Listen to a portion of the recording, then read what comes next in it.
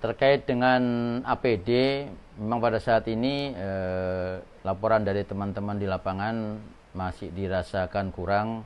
Karena kalau kita bicara secara kuantiti jumlah, kita tahu bahwa APD itu juga alat yang disposable sekali pakai.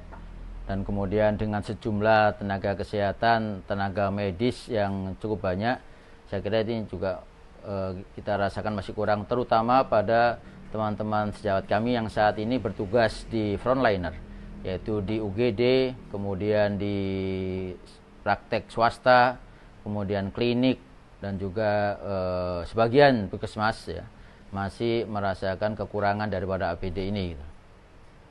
Dan tentunya karena himbauan kita kepada teman sejawat pada saat melakukan pelayanan tetap harus terproteksi sehingga banyak sekali improvisasi atau kreativitas yang dilakukan oleh teman sejawat untuk membuat proteksi dirinya untuk melindungi dirinya supaya uh, kami tidak menjadi uh, sumber penularan juga untuk pasien lain ataupun uh, masyarakat.